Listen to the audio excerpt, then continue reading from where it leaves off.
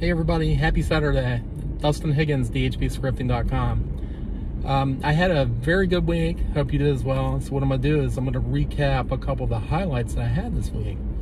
So I worked on a 2015 MacBook Pro laptop uh, for a customer. The customer happened to be a college student uh, that's been lugging around a external keyboard and a mouse because the keyboard and the, the trackpad stopped working in the laptop.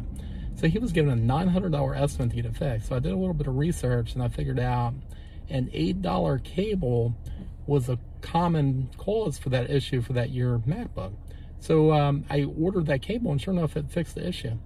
Uh, for the same customer, I installed a new battery and his battery was dying in about an hour. So imagine you're going around from class to class and you're you know, you have to lug around an external, you know, keyboard mouse and your battery doesn't like an That's not good. So I got all that stuff fixed for him. So I'm actually out, you know, delivering that, um, you know, fixed uh, laptop today. Um, another highlight, um, yeah, I've been thinking about this one for a while, so I thought I'd finally break down and give it a shot and see how it goes. I, I worked a remote issue through Microsoft Teams. So I worked that from my office, you know, for a customer remotely at their residence.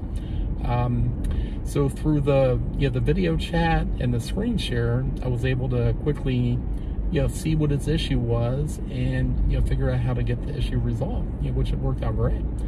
Um, so um, yeah, I've typically been working in the the Western Maryland tri-state area, but you know, with the remote administration, it's really my specialty. Um, you don't have to be here to work with me. Yeah, I can work with anybody anywhere, yeah, which is great. Um, and so, um, yeah, something else I wanted to mention, um, yeah, I mentioned it last week also, like everybody that's been helping me out, you know, by getting the word of mouth out, I mean, it's really been helping. So if you don't mind, just like the video, drop a comment, share it. Um, you know, it's really getting out there. I really appreciate it. Have a great day, everybody.